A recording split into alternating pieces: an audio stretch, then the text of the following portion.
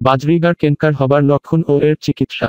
Budgerigar কেনকার, এটি সাধারণ কবুতর ফ্রিঞ্চ ক্যানারি, কোকাটেলের হয়ে থাকে, বাজরিগারে হওয়ার সম্ভাবনা একটু কম। এই সময় রোগের কারণ হচ্ছে মাইক্রোস্কোপিক প্রোটজা নামক জীবাণু। বাজরিগার কোষ্ঠকাঠিন্য ও তার চিকিৎসা।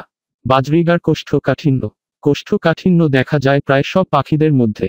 পাখির হজম প্রক্রিয়ায় যখন সমস্যা সৃষ্টি হয় তখনই কোষ্ঠকাঠিন্য হয়ে থাকে। বাজরিগার জ্বর হবার লক্ষণ ও এর চিকিৎসা। বাজরিগার জ্বর। এটিকে এক প্রকারের ভাইরাসজনিত রোগ বলে বিবেচিত করা হয় এবং প্যারট গোত্রের পাখির হয়ে থাকে। এক পাখি থা অন্য পাখিতে দ্রুত সংক্রামিত হয়। বাজরিগার রক্ত আমাশয়ের লক্ষণ ও তার চিকিৎসা। বাজরিগার রক্ত আমাশয়। রক্ত আমাশয় প্রোটোজোয়া আইমেরিয়া নামক জীবাণু দ্বারা সৃষ্ট। এই রোগের লক্ষণ দেখতে অনেকটা ঠান্ডা লাগার মতো দেখতে মনে হয়। বাজরিগার সাধারণ ডায়রিয়া লক্ষণ ও তার চিকিৎসা।